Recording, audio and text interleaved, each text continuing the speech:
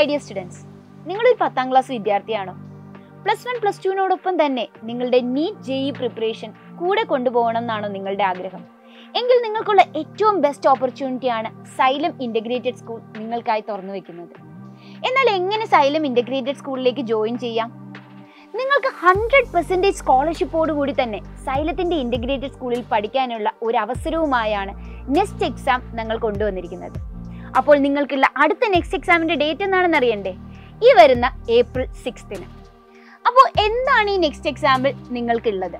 നിങ്ങൾ ഒരു NEET aspirant ആണെങ്കിൽ നിങ്ങൾ നെക്സ്റ്റ് എക്സാമിൽ എക്സ്പെക്റ്റ് ചെയ്യാനുള്ള ninety ക്വസ്റ്റ്യൻസിൽ twenty five questions physics twenty five questions chemistry പിന്നെ വരുന്ന ഫോർട്ടി ക്വസ്റ്റ്യൻസ് ബയോളജി ആയിരിക്കും. ഇതെല്ലാം തന്നെ M C Q based questions ആയിരിക്കും. ഇതിൽ നിങ്ങൾക്ക് വൺ മിനിറ്റിൽ വൺ ക്വസ്റ്റ്യൻ ആൻസർ ചെയ്യേണ്ടി വരും. എന്നാൽ എന്തൊക്കെയാണ് നിങ്ങൾ ഇതിൽ പഠിക്കേണ്ട ടോപ്പിക്കുകളെന്ന് നിങ്ങൾക്ക് ഒരു സംശയം ഉണ്ടാവില്ലേ? അപ്പോൾ ബയോളജിയിൽ നിങ്ങൾ പ്രിപ്പയർ ചെയ്യേണ്ടത് എല്ലാ ടോപ്പിക്കുകളും ഞാൻ ഇപ്പോൾ ഡിസ്കസ് ചെയ്യാൻ പോവുകയാണ്.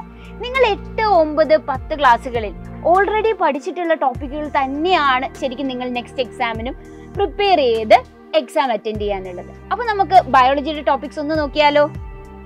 ആദ്യം തന്നെ സെൻസ് ഓർഗൻസ് ആണ് വരുന്നത്. അതിനുശേഷം ന്യൂറോൺ ബ്രെയിൻ ഫോട്ടോസിന്തസിസ് പിന്നെ റെസ്പിറേഷൻ സെൽ നമ്മുടെ ഹ്യൂമൻ ഫിസിയോളജിയിലെ തന്നെ എക്സ്ക്രീഷനും ഹോർമോൺസും പിന്നെ ജെനറ്റിക്സിലെ മെന്റേലിയൻ എക്സ്പെരിമെന്റ് എക്കോസിസ്റ്റം ആൻഡ് എൻവിയോൺമെന്റൽ ഇഷ്യൂ അപ്പോൾ ഇത്രയും ടോപ്പിക്സും നിങ്ങൾ എട്ട് ഒമ്പത് പത്ത് ക്ലാസ്സുകളിൽ പല പ്രാവശ്യമായി പഠിച്ചിട്ടുള്ള ടോപ്പിക്കുകളാണ് ഇതിൽ നിന്നുള്ള വളരെ സിമ്പിൾ ആയിട്ടുള്ള ക്വസ്റ്റ്യൻസ് ആയിരിക്കും നിങ്ങൾക്ക് നെക്സ്റ്റ് എക്സാമിന് ഉണ്ടാവുക. നെക്സ്റ്റ് എക്സാമിൽ നിങ്ങൾ ജെയ് ആണ് നോക്കുന്നതെങ്കിൽ അല്ലെ? ജെയുടെ ആസ്പിറന്റ് ആരാണ് നിങ്ങൾ ആഗ്രഹിക്കുന്നതെങ്കിൽ നിങ്ങൾ കവർ ചെയ്യേണ്ട മാത്തമാറ്റിക്കൽ സിലബസ് ആണ് ഞാനിവിടെ പറയാൻ പോകുന്നത്. Number system algebra geometry types of angles factorisation statistics and its base അല്ലേ? സ്റ്റാറ്റിസ്റ്റിക്സിന്റെ ബേസ് ആയിട്ടുള്ള കാര്യങ്ങൾ റിയൽ നമ്പേഴ്സ് അതോടൊപ്പം തന്നെ equation in two variable area of a circle അല്ലെങ്കിൽ ഏരിയ ഓഫ് സർക്കിൾസ് അതിൽ വരുന്ന നിങ്ങൾ സെക്ടറിന്റെ ഒക്കെ പാർട്ട് അറിയാമല്ലോ സർക്കിളിന്റെ ഒക്കെ പാർട്ടായിട്ടുള്ള പിന്നെ solids polynomials arithmetic progression quadratic equation probability trigonometry പക്ഷേ നിങ്ങളുടെ ഈ ടേംസ് ഒക്കെ നിങ്ങൾ ഒരിക്കലെങ്കിലും കേട്ടതായിരിക്കും. ഞാൻ ഏറ്റവും കൂടുതൽ സജസ്റ്റ് ചെയ്യുന്നത് ക്ലാസ് എയ്റ്റീൻ ആൻഡ് ടെൻത്തിലെ നിങ്ങളുടെ C B S E text ബുക്കാണ് ഇതിന് വേണ്ടി നിങ്ങൾക്ക് പ്രിഫർ ചെയ്യാൻ വേണ്ടി ഞാൻ സജസ്റ്റ് ചെയ്യുന്നത്. അപ്പോൾ നന്നായിട്ട് പഠിക്കുക. തീർച്ചയായിട്ടും നിങ്ങൾക്ക് ക്രാക്ക് ചെയ്യാൻ പറ്റും കേട്ടോ. ഹായ് മക്കളെ നമുക്കിനി ഫിസിക്സിന്റെ നെക്സ്റ്റ് എക്സാം സിലബസിലോട്ട് കിടക്കാം. സോ ഏതൊക്കെ ടോപ്പിക്കാണ് ഫിസിക്സിൽ നിന്ന് പഠിക്കേണ്ടത് എന്നുള്ള കാര്യത്തിലോട്ട് കിടക്കാം.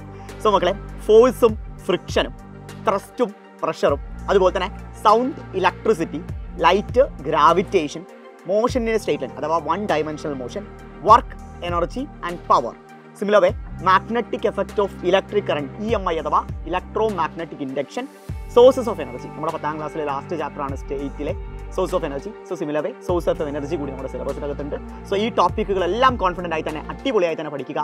അപ്പോൾ ഫിസിക്സ് സെറ്റാക്കി ഹലോ മക്കളെ നെക്സ്റ്റ് എക്സാമിന്റെ chemistry syllabus of atom properties of matter metals and non metals redox reactions acids bases and salts polymers carbon and compounds and finally classification അഥവാ പീരീഡ് ക്ലാസിഫിക്കേഷൻ അപ്പോൾ ഗംഭീരമായിട്ട് പഠിക്കുക. ഇത്തവണത്തെ നെക്സ്റ്റ് എക്സാം നമ്മൾ crack ചെയ്യാൻ വേണ്ടി പോകുന്നു.